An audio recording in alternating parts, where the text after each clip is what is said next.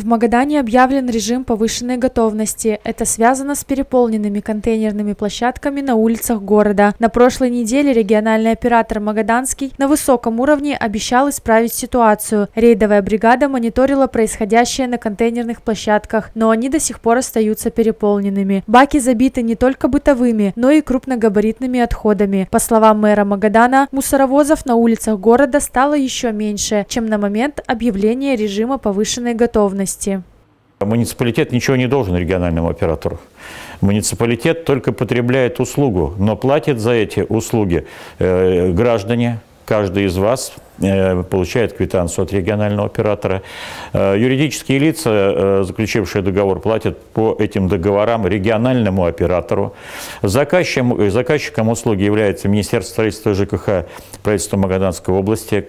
Контролирует вывоз мусора Государственная жилищная инспекция. Административно-техническая инспекция Магадана смотрит за порядком этой процедуры и составляет протоколы. К административной ответственности нарушителей привлекает Государственная жилищная инспекция и полиция. По нормативу отходы должны вывозить не реже одного раза в неделю. Это связано с санитарно-эпидемиологическими нормами. В прошлом году дополнительные мусорные баки приобрели за счет средств областного бюджета. В этом году губернатор Магаданской области внес в программу столица за закупку мусорных баков, евроконтейнеров, оборудования и ввел субсидию на эти цели около 50 миллионов рублей.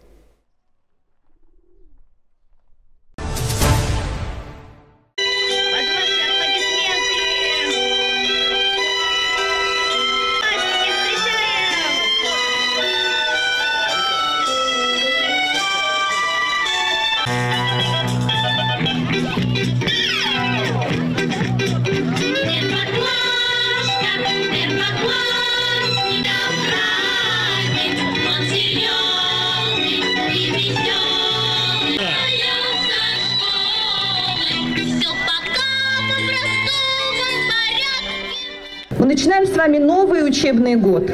Он особенно важен для нас, но об этом чуть позже. А сейчас я хочу обратиться к тем, для кого этот год важная точка в жизни. Это вы, наши первоклассники. И мы желаем вам, чтобы огонек, искорка и желание к знаниям никогда не угасли у вас за эти 11 лет. Это вы, наши пятиклассники. И мы очень верим в то, что вы справитесь с новым этапом вашей школьной жизни. Это вы, наши девятиклассники. И мы возлагаем на вас очень большие надежды. И это вы, наши любимые одиннадцатиклассники, наш дорогой выпускной класс. Мы верим, что вы своими результатами на экзаменах подтвердите качество образования в нашей школе. Вот и закончилось календарное лето. Для школьников осень особая пора, а 1 сентября важный и волнительный день. Череду праздничных мероприятий, приуроченных ко Дню знаний, открыл лицей номер один. Поздравить детей со знаменательным праздником пришел мэр города Юрий Гришан. Как пройдут школьные годы, зависит от этих замечательных людей, которые за моей спиной. Это учителя, которые сегодня приняли первый класс. Кстати говоря, больше, чем первая школа, не приняла ни одна школа. 102 ребенка идет в 4 первых класса в школе номер один. Один выпускной класс, это говорит о том, что требования к знаниям, переводу из класса в класс, самое главное перейти на третью ступень дорогого стоит в этой школе, поэтому вот они самые лучшие, и не только в школе номер один, но и в городе Магадане. Я ежегодно вручаю золотые медали ребятам, которые заслужили их особыми успехами в учебе. И среди номинантов золотой медали очень много выпускников именно школы номер один.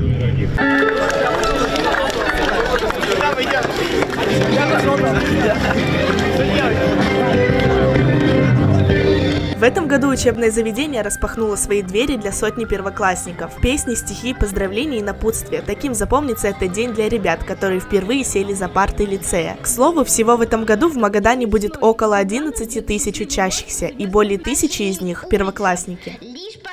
Добрый час!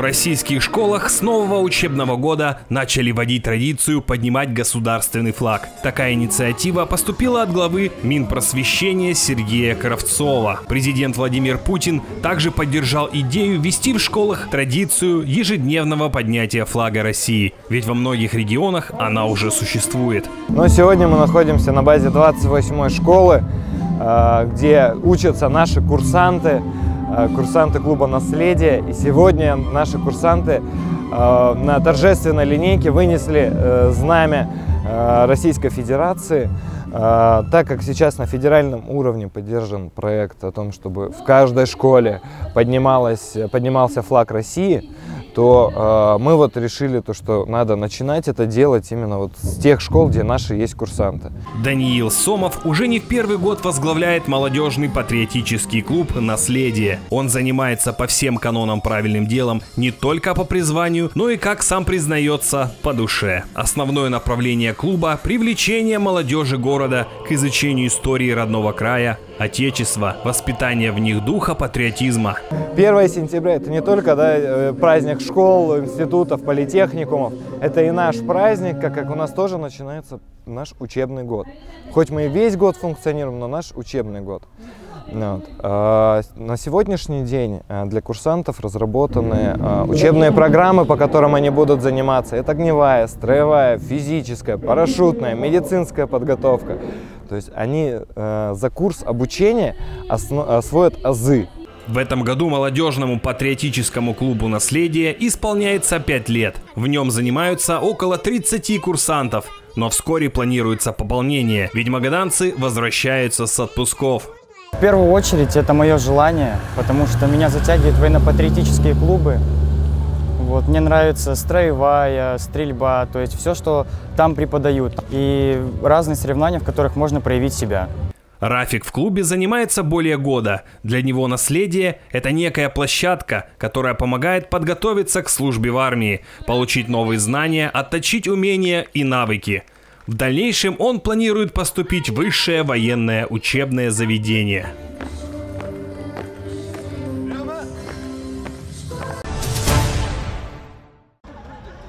С 1 июня в павильоне парка «Маяк» работает выставка «Морская азбука». Недавно была выпущена небольшая книга с красочными фотографиями и рассказами о том, кто обитает в отливной зоне Охотского моря. Таким образом, некоммерческая организация «Артсоюз» просвещала как детей, так и их родителей. Сегодня должен быть последний день, когда работает выставка. Однако по просьбе многих магаданцев ее решили продлить еще на две недели. Сегодня мы провели такой праздник. Ну, во-первых, освежили знания детей, потому что все они летом здесь побывали. В группах или с родителями, освежили их знания о том, что же за морские зверушки, какие водоросли водятся у нас, как называется наше море.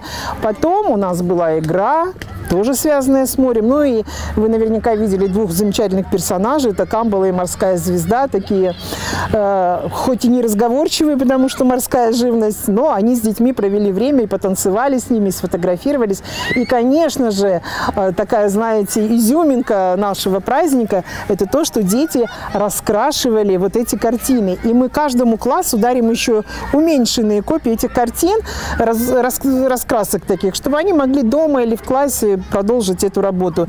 Из-за того, что сегодня много детей приедут на эту выставку, классам не разрешают раскрасить весь рисунок целиком. Поэтому только последняя группа ребят, которая примет участие в этом мероприятии, сможет нанести заключительные штрихи, чтобы завершить картину. К слову, сегодня выставку посетили более пяти классов, а всего за лето около трех тысяч магаданцев, как самых маленьких, так и взрослых.